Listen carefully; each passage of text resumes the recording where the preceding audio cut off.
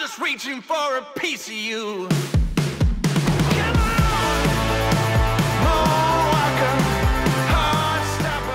Hey everyone, welcome back. Tony Moore, and this is how you do it. So we've got our machine all put in, bench in, bolted down. I've adjusted the table so it's all level all over the place. It's all looking good. Um, now what we're going to do is I'm going to go step through now. Um, so actually just come around here, I'll show you this before I move on to the next bit. So I've just got a couple of routers up under here. So if you come right down, have a look under, you'll see how they're all bolted up in here. Um, this one's got a strap on it because you actually have to hold it and pull the trigger at the same time. This one's got an on off here. Um, so that's pretty much it. It's all good, ready to roll. So let's get to it. Today we're going to do this drum here. This is a Rogers 15 inch tom, floor tom, or actually it's a mounted tom, which we're converting into a snom. Now we're up to the stage of this build. We've done a, a finished coat here, which is a poly, that's this product here, hand rubbed, no spray, we've just rubbed it on. And I'm getting up towards the final coat, but before I want to do that, I want to cut my bearing edges.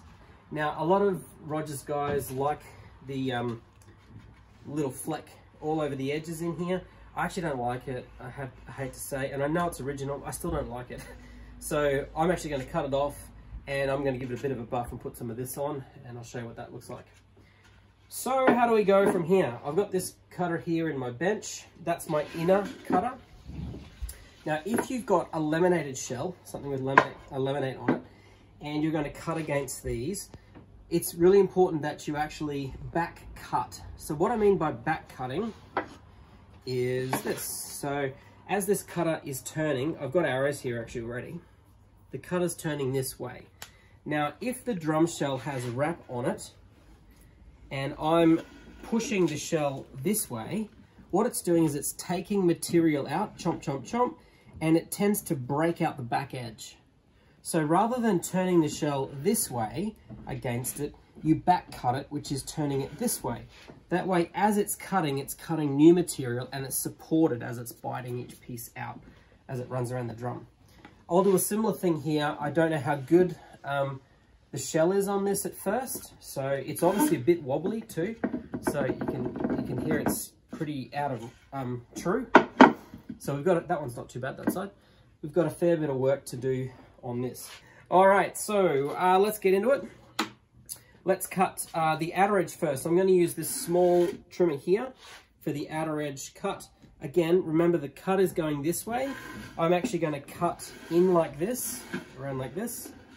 And that way, as it's cutting, it's just going to protect the edge. Let's kick her up. I've already checked the height. Um, if you want to know how to do it, I'll tell, I'll tell you how to do it. You come down low here. See the shell here? I push this up against. You'll have to look very closely. I lift it up onto the bearing, the trace bearing, and then I adjust. Actually, I'll reset it for you. Okay, so we start like this. Just setting that. I'm lifting this up and put it on the trace bearing. This is the trace bearing at the top, right there. It rests on that and pulls down onto the cutter. Then I'm looking at the bottom of the table and I'm lowering the cutter. So, which is lower, that's lower. There we go, lowering the cutter so that it's sitting on the table. But I actually want a very small amount because I'm going to take off new material but I don't want to take off much at all. That's pretty close to what I want for the first cut. Okay, so that's how you set it up. Let's get stuck into it. Turn this on. I don't have earplugs or earmuffs. I should do it, shouldn't I? But I won't. Yes, I will. Wait there and look at the drum.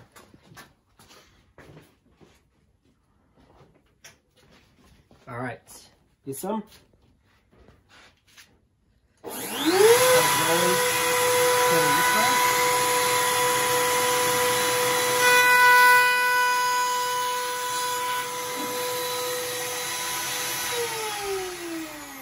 So as you can see here, it's just taking the very slightest little bit off just there. Um, now, one thing I forgot to tell you and to do, excuse me a second while I jump over here.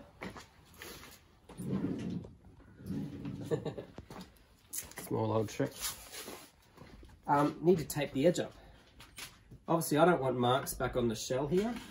Easiest way to do it is put it just flat, pull your tape around like this.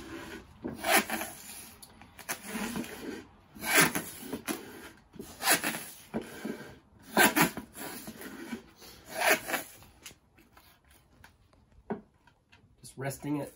Don't move the shell or it will wreck it. Just do a round with your fingers.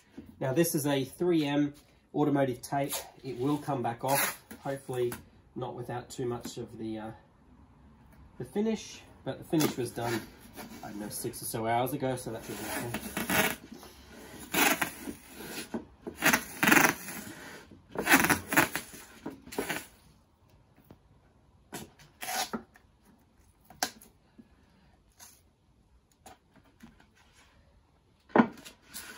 Alright, that's all good. The earmuffs. I'll do a full cut.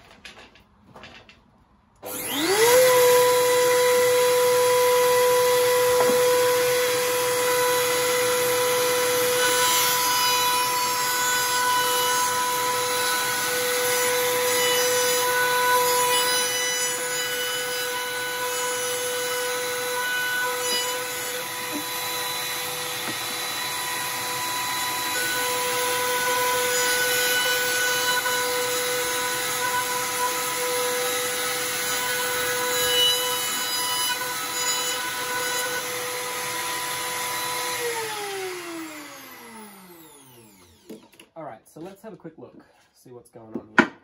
So as you can see here, you come in nice and close, you can see it's cutting, it's not cutting, it's cutting, it's not cutting, it's cutting, not cutting, cutting, not cutting, all the way around. So what's actually happening there is when the original bearing edges were put on in factory with the laminate, the laminate was floating in and out. Okay, unfortunately, yes, it happens, and that's what happened from the factory. So that's why now that we're on the raw shell, this is showing up.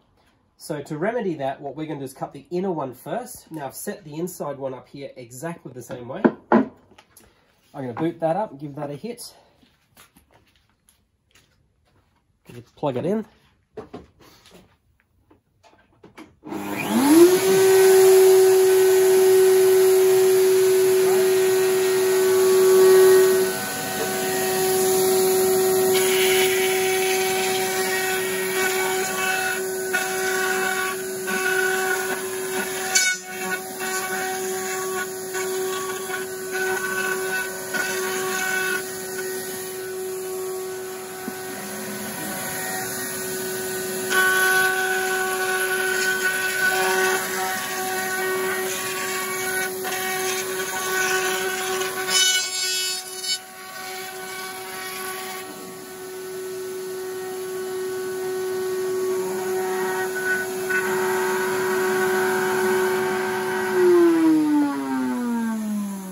Okay, so you can see on the inside the same thing is occurring. As we're going around, it's cutting in some spaces, not in others. You see around here?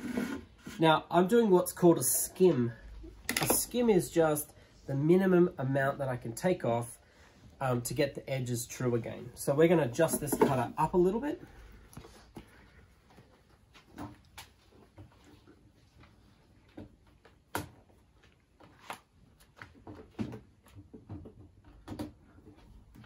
We're going to run the cutters again.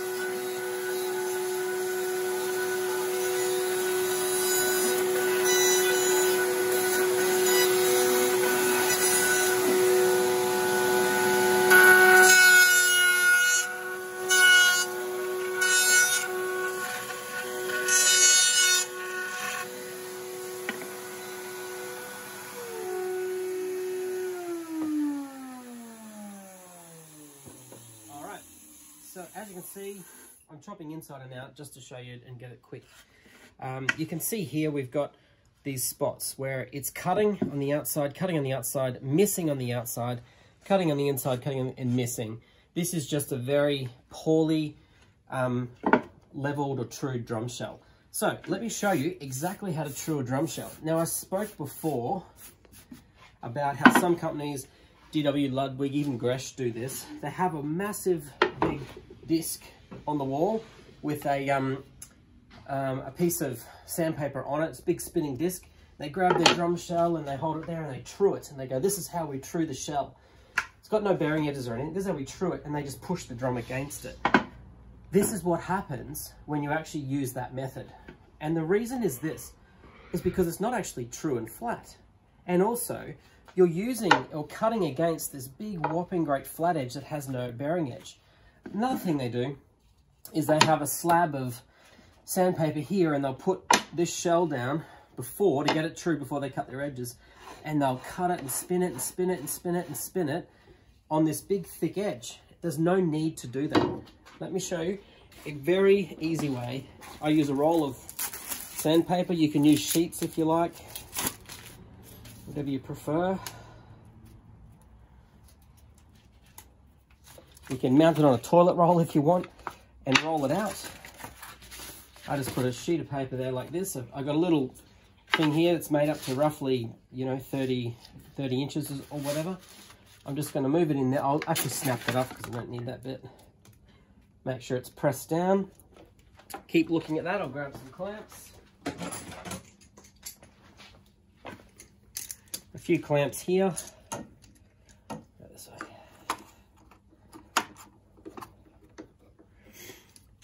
As long as the paper's taut or tight, whatever you want to call it, we're good to go.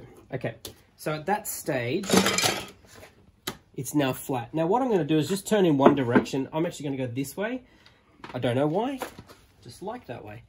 You will find if you're left or right-handed, there's a preference. So let's have a look here before I cut. We can see we've obviously got high spots, low. It's low wherever the old edge is. Low, low, low, low, low. So I want to true this. I'm going to check first. I can see that it's wobbling this way. There's probably a high spot around here. Um, actually, there it is on that side there. So there's the high spot here. We're going to start there. I'm just going to move this drum. I'm going to rotate it through here like this. Now, I'm actually just trying to get a smooth, one solid, clean edge all the way around. Now, we'll rotate the whole drum. I'm pushing squarely down.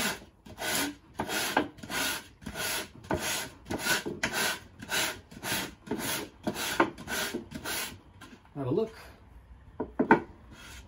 So if you come in close, you can sort of see, if you trace my finger around here, you'll see that it's nice. Then we've got a little dip in here. It's not too good. Then we pick up a bit there. It goes out again, goes out again. And then we're back to good again. So I'm just going to get a, small block plane to help out. Here it is. Just a small block, block plane. Now, don't plane where you've got low spots. Lower the old edge. High is the new edge. I'm actually just going to take a very small shaving off the high edge. Same over here. If you don't know how to use one of these, it's important that you keep it flat it actually sits flat.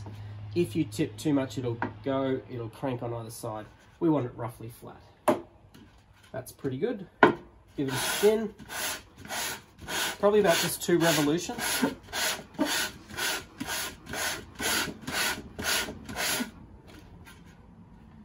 Okay, we're having another look just to check.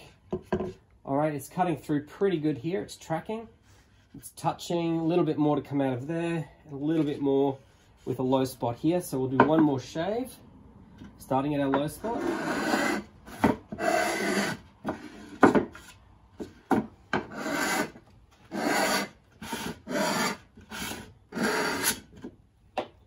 All right, let's check, it's already feeling heaps better. So a couple of rounds. That's good. Now, because I've already lowered it, I should be able to take it over on the machines and just recut it. So I'll recut it. Yeah, I'll do that. I'll just do the one side for now. My earmuffs. I'll do them both at the same time.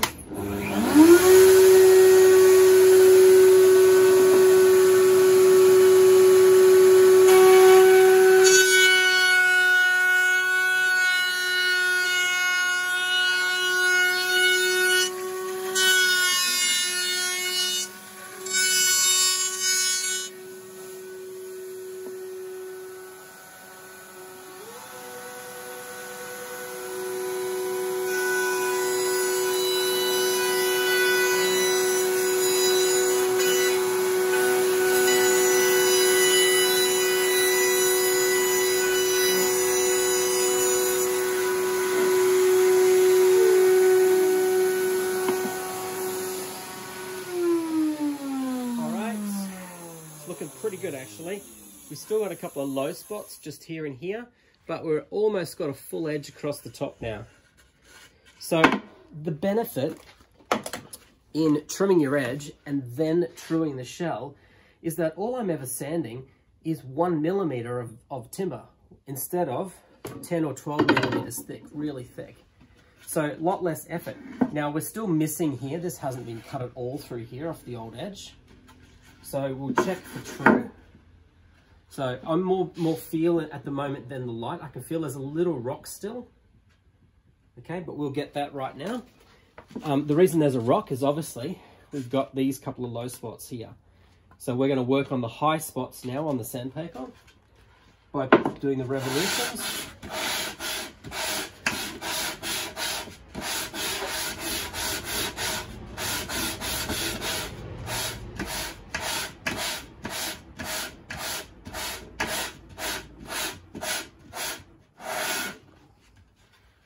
having a look. Okay, we're still, it's still, so this drum shell, this particular shell was quite a lot out. I'd probably say two to three mil. It had some dips and, and bellies in it, which is not good. Not good at all for a drum maker. Um, could be age, um, absolutely, but it's still not very good. Um, it will come up great though when I finish with it. So I'll leave you there. I'm going to go through and do the other side. I'll come back when it's all done and show you what we've got up to. Cheers. All right, guys, um, done both edges. Um, a fair bit had to actually come off on that other side. Um, if you come in nice and close. Now, one of the little trademarky things that I tend to do when I'm refinishing drums is I'm actually only looking to take the bare minimum off everything. So here there was, I've actually marked it on there, there was a big dish there. But what I've done is I've left a little tiny, it's just very small, little bit of the flake that's still there. On the other side here, it's a bit more prominent right there. I just leave it so that when someone buys this drum a decade after me, they look at it and they'll go, oh, actually, it has been redone, but not much has been taken off. So they, it's a little bit of a sign or a symptom. Now, this is the cool part. I just wanted to show you this bit before we moved on. Um, for the criticism of this particular drum, Rogers made beautiful drums, and this is a great example of it. So to finish off what we're doing, we're going to put some sealer on it. Um, I've already checked it for true.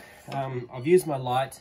Um, it's a fairly telltale sign. Um, there's nothing there. It's perfect, actually. Now, once I've got it to this stage, I just do one gentle final turn, a full rotation, top and bottom, like that full rotation, like so.